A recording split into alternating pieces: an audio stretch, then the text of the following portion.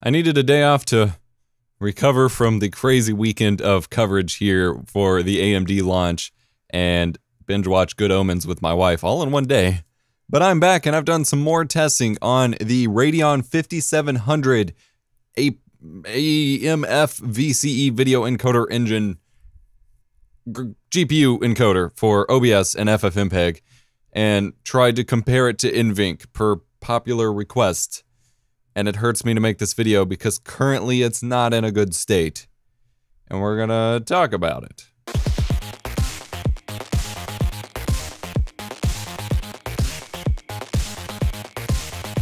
I'm EposVox here to make your stream better quality and teach you some fun educational tech stuff. And apologies if you hear a fan noise in the background. I've got this beautiful RGB 3900 or 3700X test rig here with the RX 5700 graphics card right next to where my microphone is, and that's the only place I can put it. But as mentioned, I I, I wasn't ready to commit to a video quality analysis of the 5700 and 5700 XT's H.264 encoder just yet at the time of my launch coverage, as I wanted to really take it home, pixel peep it on my main monitor, and run it through some analyses and things like that. And oh boy, things are not good for AMD at the moment. I specifically had the request of both establishing, you know, an equivalent quality level of CPU usage presets equivalency to X264, as well as compare it to NVENC. And I wanted to establish that here. So I'm going to be showing you some quanti- or qualitative analysis of just back-to-back screenshots and the different video qualities. And as always, patrons, channel members, Ko-fi donors, Twitch subs, things like that will always have my access to my original downloads or my original encodings, com- able to download and analyze for yourself. Tell me how wrong I am, things like that. So sign up and support the channel if you want access to those kinds of files. But I have updated my scripts a little bit so that X264 and NVENC most closely resemble what OBS actually produces. However, this is a problem for AMF because the AMF implementation for FFmpeg, while introduced sometime late last year, isn't documented pretty much at all and not very well. And so translating the flags and the commands over from OBS to FFmpeg is quite difficult. And apparently people have even tried submitting, you know, adjustments to it so that it's more documented and easier to use and things like that. And it's just basically ignored because no one's maintaining the code for it. And this seems to be a consistent thing with AMD over the years is they are completely neglecting their GPU encoder. And this is a problem, at least for H.264. I talked about in my previous video, the HEVC H.265 encoder is pretty phenomenal. It's blazing fast, you can run multiple streams at once, and the quality is great, uh, even at lower bit rates. However, you can't use that for live streaming, and most programs aren't going to support that for recording because of licensing issues, which is the same reason you can't use it for live streaming. It's, there's major licensing issues with HEVC. So for most people, that doesn't matter, but also going all the way back to even pre-Polaris, actually going back to Polaris, using the HEVC encoder was pretty much the only option because the H.264 was so bad. And unfortunately, that doesn't seem to have changed much. So for my testing methodology, I have my AMD 3700X test rig here that I'm borrowing from Wendell at Level 1 Techs with the uh, Taichi motherboard, the X570. And I've got the launch edition AMD Radeon RX 5700. I tested this both on the press drivers I had before launch, and then they just released drivers yesterday at the time of recording on July 7th, uh, with that we're supposed to have some fixes. So I tested it again on those new drivers, and I and I'm DDUing at each of these steps. I also popped in an RX 580 so I could te- test the older an older architecture encoder and put them head to head and see how they did. And then I tested it on my gaming PC uh, with the RTX 2080 for Turing's video encoder. And so for my quantitative analysis using VMAF and SSIM, I used FFmpeg to do these encodes and try to match the commands up as best as I could. Again, AMFs specifically is a problem, but then for the qualitative analysis, I'm also going to show you direct from OBS synced up as well. I just can't run through those through the algorithms. So I'll be showing stuff on screen, but I wanted to talk about the numbers real quick here. Again, these are only to back up my point of view pretty much. They are not hard data. These algorithms are not perfect. VMAF specifically is Netflix's algorithm to determine like perceptual quality and try to work on bitrate efficiency for their streaming platform. However, it's not suited specifically for games and there's other issues and SSIM is another option that kind of goes more for that, but less developed, I guess, for this purpose than Netflix is, and again, isn't tuned for games, but it's the only quantitative da- analysis I have access to for now. There are some more expensive, like $1,000 software licenses I could get, which would help a little bit and make this faster, but I don't have access to that right now. But running through the numbers, we're looking at for the Navi graphics card, and I tested both again with the pre release drivers and July 7th drivers, and both the SSIM and the VMAF scores are exactly identical, digit for digit. So nothing has changed there. Running that through, we are looking at out of all of the testing I did, and that is X264 Superfast through medium, NVENC, both with two B frames and four B frames, AMF on the RX 580 and AMF on the 5700 at all bit rates. So at 2 megabits per second, 3.5 megabits per second, and 6 megabits per second. It is pretty much the lowest quality out of anything I tested except for super fast. It does beat super fast. But that's it. It doesn't beat very fast. We're looking at, so for the uh, 5700 at 2 megabits per second, we're looking at a score of for VMAF of 33.205 for 1, and very fast says 35.937, blah, blah, blah. Super fast says 30. So it is quite a few, you know, it's a few points above super fast but that's it. Going down to 3.5 megabits per second, 49 point blah blah blah for uh, RX5 for RX 5700, and for super fast it's 44 point something. For very fast it is 50 point something. For 6 megabits per second, we're looking at for the 5700 a score of 64.233574 for 6 megabits per second. On very fast, it's 65 point something.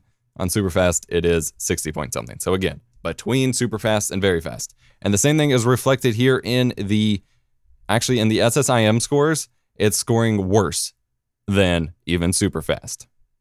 That is unfortunate. Now, if we're comparing between the RX 580 and the Navi GPU, they're pretty close, uh, within decimal places, pretty much at under a point for each of the scores. However, the RX 580 is scoring a higher quality ever so slightly than the 5700, even for both VMAF and SSIM.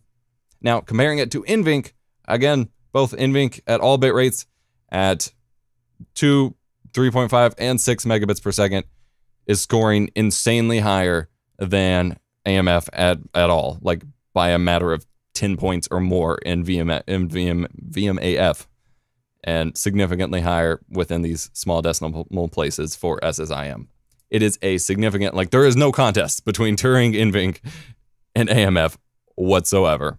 And compared to X264, I'd say it lies between super fast and very fast. And jumping into the qualitative analysis, looking at the actual images yourself, you've been seeing some of these on screen. I'd say that mostly lines up.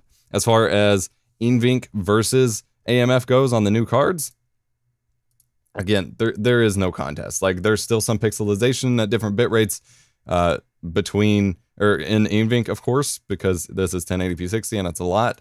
But there's in NVENC, there's more texture, there's more sharpness, there's significantly less blocking, and everything looks fine. Whereas in not only is there all of the blocking textures are completely mixed together and it's softer on AMF for the 5700, but the colors are washed out too, which is a big complaint I see a lot about you know low bitrate compression. So I wanted to add a disclaimer here because this is what I need to say in defense of AMD. This is a launch product. These are fresh drivers, although, again, these are post release drivers that I am testing on at this point, and they can make improvements. And that's especially part of the whole RDNA thing, is that they can improve it after the fact.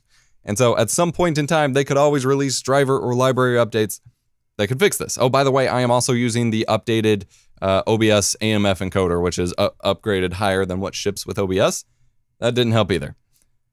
FFmpeg and OBS are both totally broken in terms of this encoder. I, I truly believe that if the encoder has the changes that AMD claims it does, then no software knows how to use it so far because neither FFmpeg nor OBS can actually see. I mean, even though it's showing in Task Manager, video encode engines being used, everything seems to be working fine.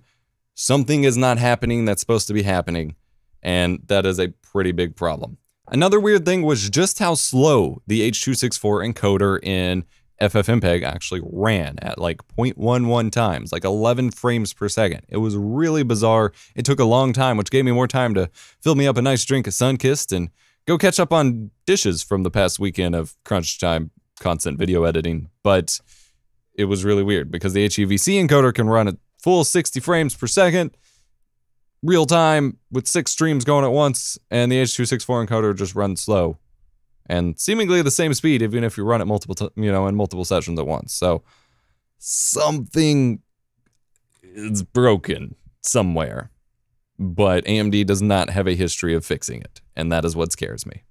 So literally, all I have to say or think is just AMD, please fix it. The hardware is capable. I'm fairly convinced the hardware is capable of doing great things with this encoder, but it seems like an afterthought and has been for years. And I really, I, if there's one goal with my AMD coverage lately, is it's to get AMD to kick their butt into high gear, to fix this, to get it implemented well into FFmpeg, OBS, DaVinci Resolve. I didn't even mention that there's errors in DaVinci Resolve decoding footage with the new graphics card decoders. There's like an off by one error, so the footage just totally glitched out. I didn't even, didn't even show that in my launch coverage. I just forgot. And then the H.264 encoder for AMD doesn't even work in Resolve. After an update to the 16.04 beta of 4 or 5, whatever the latest is for Resolve, the H.265 encoder started working finally and seems to be fine and goes really, really fast. But the H.264 encoder just errors out and doesn't work, on top of the footage decoding when you play back, but not when you render, really poorly and glitchy. So, AMD, please fix it. Show us your card can do great things because I'm fairly confident it can. Just got to bridge the gap on software. Talk to the software people. Talk to the OBS devs. Talk, talk to the plugin devs. Talk to the FFmpeg devs. Let's make it happen. Please. So, yes, at some point in time, this could be fixed and improved, and perhaps it can catch up a little bit towards NVENC or some of the more reasonable X264 profiles. If that happens, if that is the case, I will make an update video. But the reason I'm going ahead and making it now, and the reason I am so concerned, is this has been a problem for like five or six years. Pre Polaris, the video encode engine was pretty confusing and wonky and messy and a pretty big problem. Polaris comes in, it breaks other things, but it fixes some things, makes it easier. Vega, from what I have heard and seen, is actually a step backwards in terms of video encoder quality. And now we have this. And at no point have they made any real effort to work with the OBS team to develop this plugin anymore. From what I have heard from people who work on it, I don't have direct involvement or com- conversations to know for certain, but from what I have heard, AMD is really not involved in helping improve this or fix it. They are not working with FFmpeg or helping maintain any of that. They're not really supplying any resources.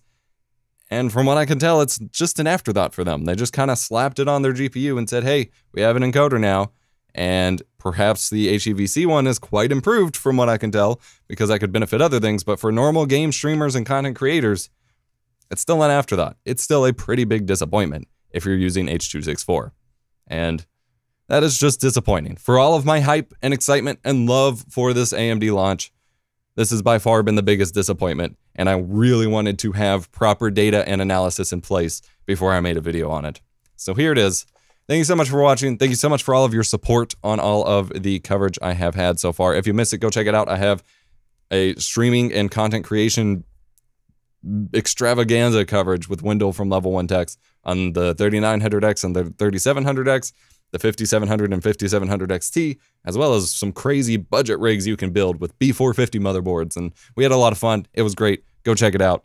I'm going to keep testing. Next up is on my test or on my docket to test and get some data on their VP9 decoder because a lot of you have asked about that. So I'm EposVox here to make tech easier and more fun. I'll see you next time.